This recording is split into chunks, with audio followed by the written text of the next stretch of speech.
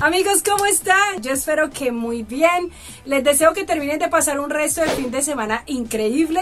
Y bueno, hoy vamos a continuar con el tema de las refinerías en México. Y es que ustedes saben muy bien que próximamente se va a inaugurar la refinería Olmeca, una refinería que va a ser 100% mexicana. Y también la refinería Deer Park, que México le acaba de comprar a Estados Unidos. También hay otras refinerías que se están remodelando en México para que queden al 100% en funcionamiento. Estos proyectos se dicen que van a traer importantes ingresos al país.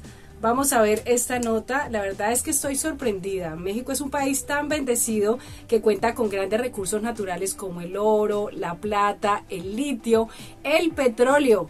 México ocupa el lugar número 15 en reservas de petróleo en el mundo un país que goza de muchos climas, de muchos paisajes.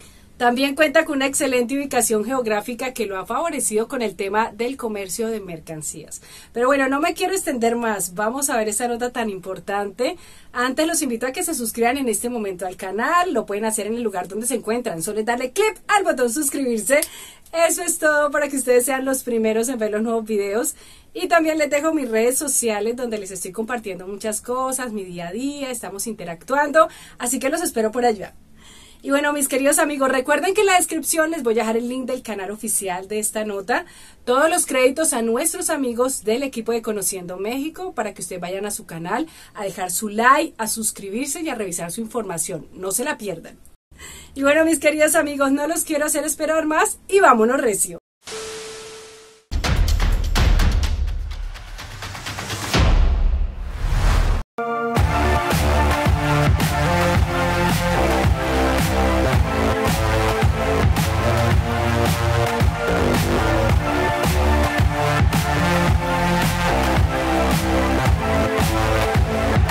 Pese a las caídas de los últimos días, el petróleo sigue encaminado a una ganancia trimestral. Los precios del petróleo están subiendo por la elevada demanda de combustible, mientras que la oferta sigue siendo escasa debido a las sanciones impuestas al crudo de Rusia tras su invasión de Ucrania.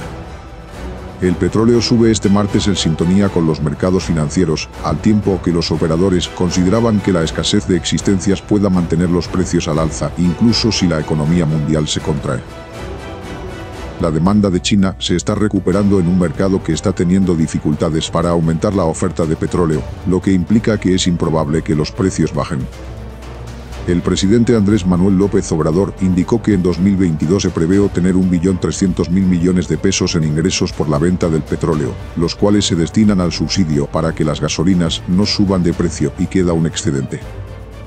En su conferencia de prensa matutina, mencionó que el precio promedio del barril de crudo ronda entre los 110 dólares, por lo que se destina dinero a estímulos a los combustibles y se estima tener un excedente comentó que los ingresos que se obtendrán por petróleo representan alrededor del 25% del presupuesto nacional y mencionó que la recaudación fiscal no se ha caído, por lo que se cuenta con recursos para obras como la refinería Olmeca y el tren Maya.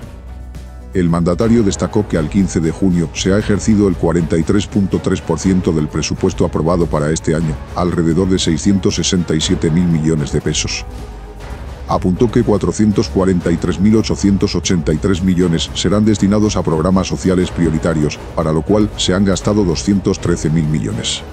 Si bien los precios del petróleo siguen aumentando, México siendo un país petrolero se verá beneficiado. Estamos este, pendientes porque no hay su ejercicio. A ver si me pueden mandar de favor este, la hoja de gasto, el último corte de programas, Juan Pablo. Eh, vamos eh, acorde con el programa y lo que queremos pues es eh, que no haya déficit. Ya no es el tiempo de antes, de que no se trabajaba. Ahora tenemos que estar autorizando transferencias de recursos para que las obras no se detengan, porque se está avanzando. Necesitamos, por ejemplo, más recursos que ya estamos consiguiendo para la refinería de Dos Bocas, más recursos para el tren Maya, más recursos para la presa de Santa María en Sinaloa. Afortunadamente, eh, no se ha caído la recaudación y nos está ayudando lo de el aumento en el precio del petróleo, porque aun cuando ese excedente se está destinando una parte para que no aumenten las gasolinas, el diésel, los energéticos, todavía nos queda ahí una cantidad de recursos, porque el petróleo está en promedio eh, en 110 dólares el barril. Nosotros calculamos que este año, solo por la venta de petróleo, vamos a, a tener alrededor de un billón trescientos mil millones de pesos. ¿Cuánto significa esto? Pues como el 25%, 20, 25% del presupuesto nacional. No, no, ahí hay que descontarlo.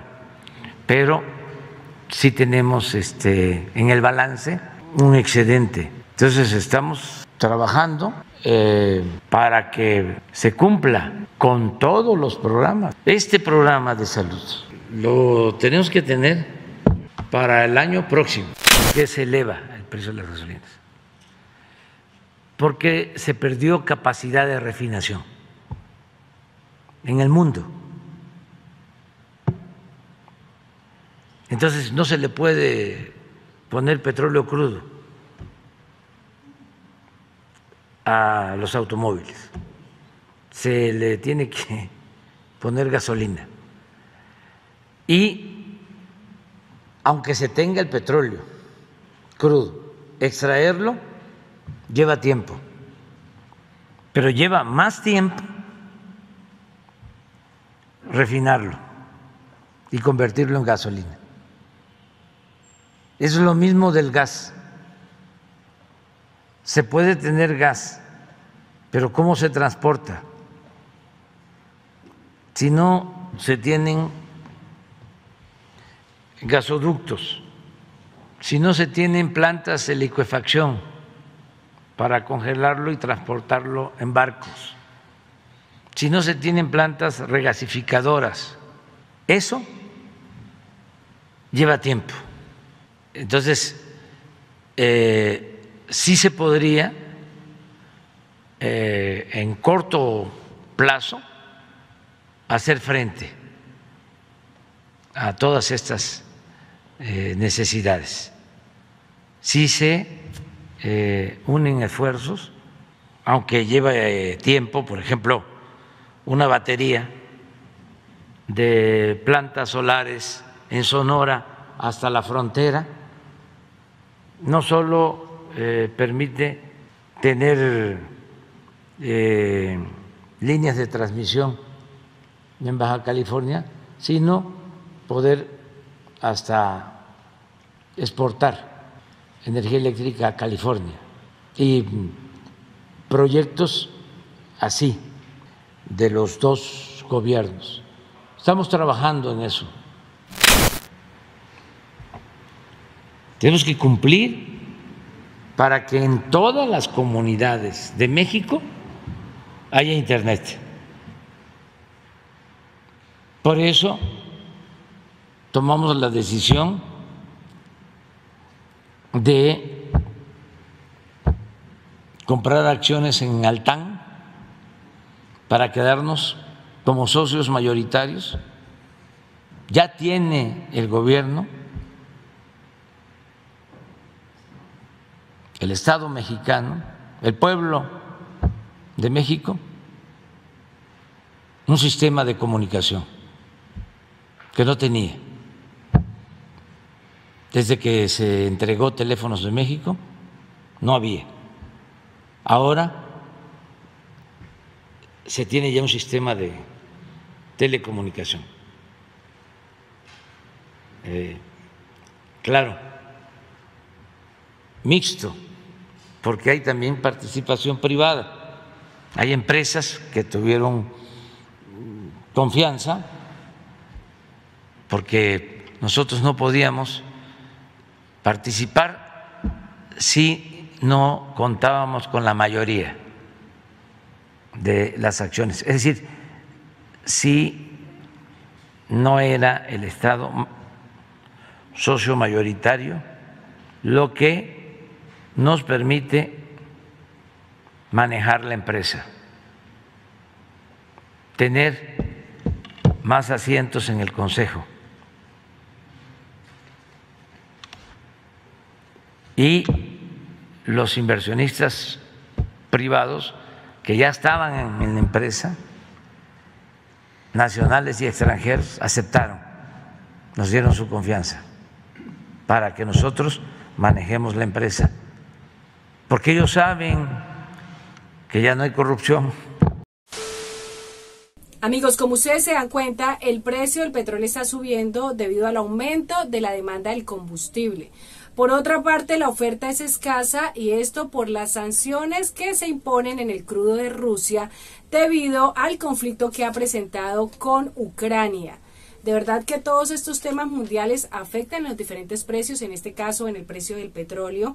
Sin embargo, México está desarrollando todos los proyectos, proyectos como la refinería Olmeca que mencionábamos al inicio del video, la refinería Dirpar y otras refinerías. Se dice que con estos ingresos se crea un subsidio para disminuir el precio del combustible en México.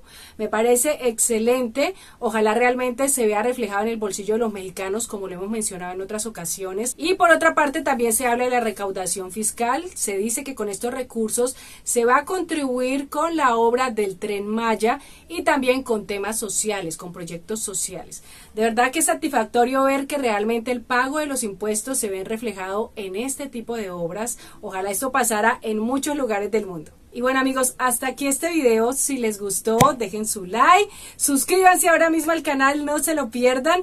Los espero mañana en un nuevo video y les dejo por aquí todas mis redes sociales donde estoy en contacto con ustedes, así que los espero.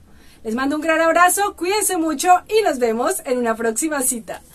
Bye.